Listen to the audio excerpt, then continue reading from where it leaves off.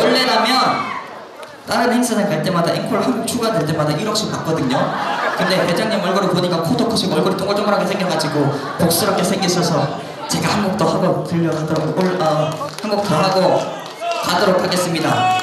음, 그럼 마지막 곡으로 강원도 아리랑 들려드리고 인사드리도록 하겠습니다. 남은 시간도 즐거운 시간 되시고 행복한 하루 되셨으면 좋겠습니다. 감사합니다.